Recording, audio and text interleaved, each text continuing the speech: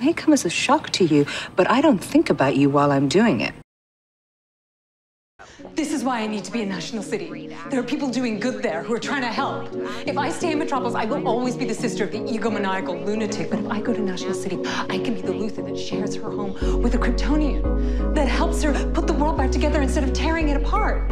You said it worked. Oh, it does. I just gave Supergirl the remote. Only she can turn it on. Where is she? She's this way. Hey, listen, I know that you and Supergirl, you don't, you don't always see eye to eye on everything, but it means a tremendous amount to us, to, to me, that you're always here when we need you the most. People underestimate me, but I care. Yeah, I really do.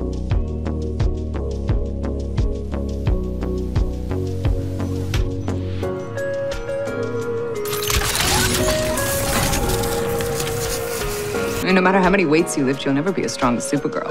No, but with technology, we can hold our own. Okay, what if we could do more?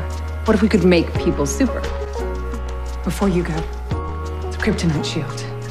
If Lex did bring out his back as Metallo, you're gonna need it.